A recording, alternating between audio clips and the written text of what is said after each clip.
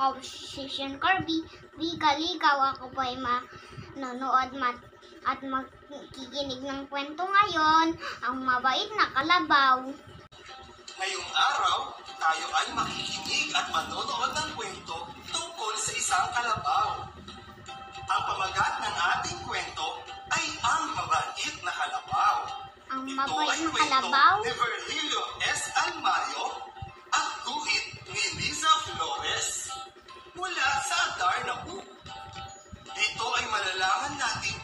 iba't ibang katangian ng isang kalabaw.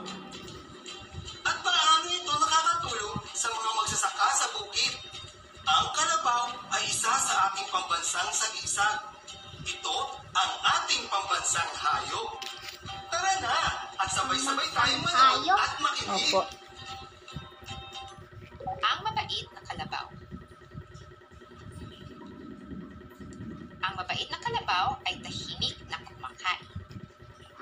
Tahimik kumakain.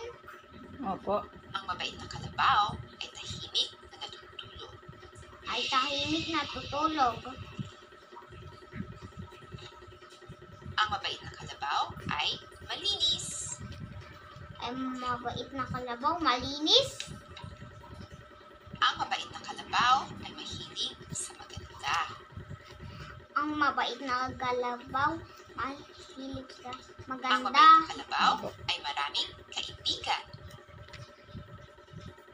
Ang mabait na kalabaw. Maraming Kaibigan kaibigan. niya pati aso at pusa. Ang mabait na kalabaw ay masipag. Ang mabait na kalabaw. Masipag. Ang mabait na kalabaw ay. Ay mabait na kalabaw. Matulungin. Ang mabait na kalabaw ay mapagbigay. Ang mabait na kalabaw. Mapagbigay. Ang mabait na kalabaw ay mapagmahal. Kaya, minamahal siya ng kapwa kalabaw.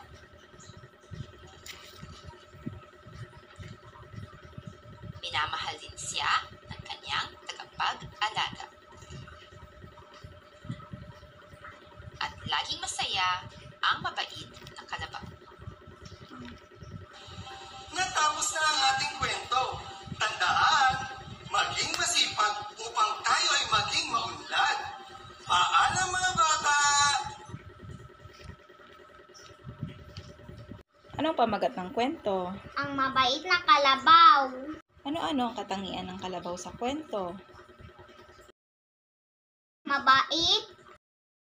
Malinis. Maganda. Masipag. Matulungin. Mapagbigay. Mapagmahal. At masayahin. Sa iyong palagay, bakit kaya kalabaw ang ating pambansang hayop? Kasi tulad ng matao, siya ay mabait, masibag at maasahan. Bye-bye!